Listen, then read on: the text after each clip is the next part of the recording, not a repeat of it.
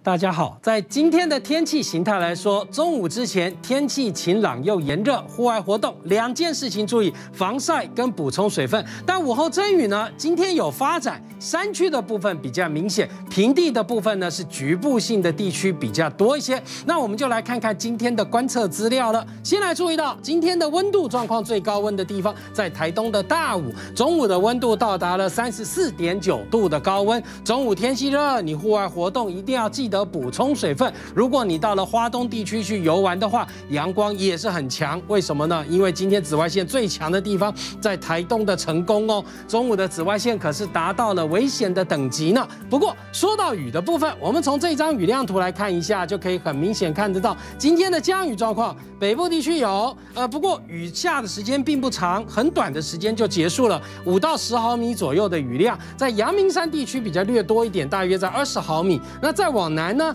新竹地区现在山区还在下雨哦，苗栗的山区现在也还有些雨，而南投地区的山区部分也有局部性的降雨，跟包含阿里山地区。再往南看，可以看到在高雄跟屏东山区的部分有，平地的部分都只有零星的一些降雨。那在台东的朋友就发现到，今天只有山区有午后阵雨，平地的部分全部都是天气晴朗。晴朗的天气之下呢，太平洋高压的势力将逐渐的往西的方向。伸展，也就是说，这个大的稳定的空气快到达我们台湾上空之后呢，呃，我们就是个晴朗的炎热的天气，我们就要特别小心，不要中暑喽。温度形态来说，在未来几天可是越来越高呢。接着就来看一下卫星云图了。从卫星云图上可以看到，台湾上空在中午以后有没有注意到一些云层发展？这就是午后雷阵雨的云层。那现在哪里有下呢？那就来看雷达了。雷达上面可以看到的就是目前呢。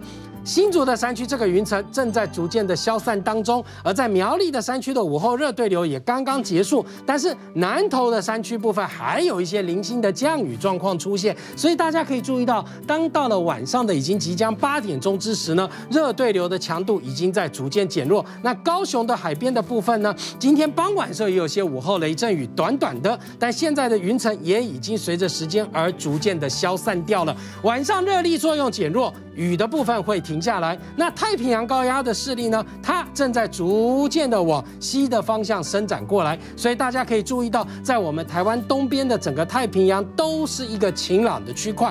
晴朗的区块之下，我们用一个色调强化云图，让大家更明显可以看得见。先来注意到的就是北方了，北方这里是封面云带，有没有注意到？过了处暑之后呢，在长江以北开始受到的就是北方的冷空气的影响。北方的冷高压只要东移的时候，当太平洋高压势力比较不强的时候，冷空气的影响层面就会到达了长江以北地区。而在太平洋高压的势力来说呢，目前是正要逐渐的接近我们台湾的方向。所以呢，在我们台湾上空，因为在太平洋高压的边缘的关系，所以今天呢，风向吹着一个偏南南西风上来，也就使得这温度形态。来说，中午偏高，午后阵雨，局部地区仍然有。但这太平洋高压的势力正在逐渐的往西的方向伸展。我们从地面图上就可以很明显看得到，在明天的时候呢，高压的势力即将要接近到我们台湾的上空，使得我们的午后阵雨的状况来说变得更少了。山区的部分有，平地的部分呢是局部性的。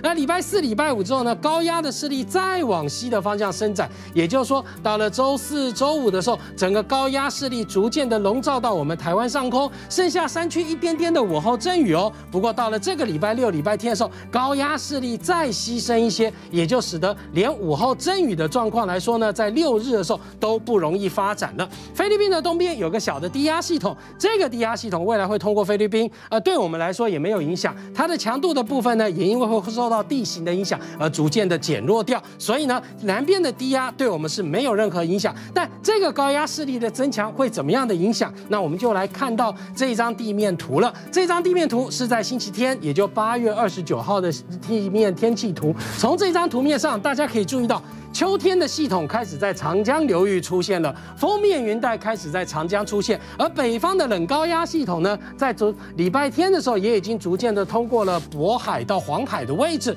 而在我们台湾上空呢，太平洋高压势力逐渐的伸展过来，所以呢，在礼拜天的时候，我们是属于一个晴朗。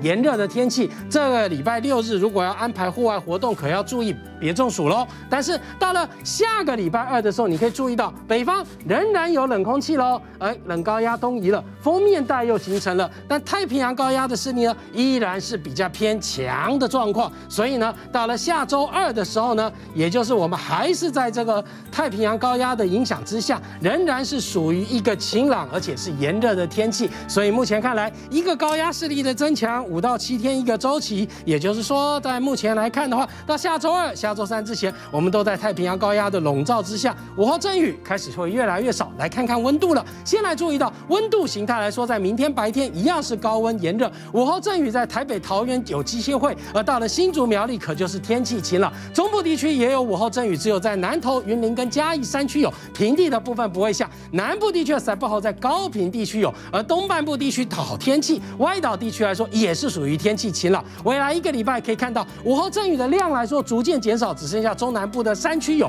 外岛地区来说都是属于晴朗而且稳定的天气。不过小丁您要给您一个提醒，特别注意在于说阳光强，外出防晒不可少。另外呢，中午以后呢，在山区部分常常会有雾，会有起午后阵雨的状况，下午在山区活动的朋友要注意。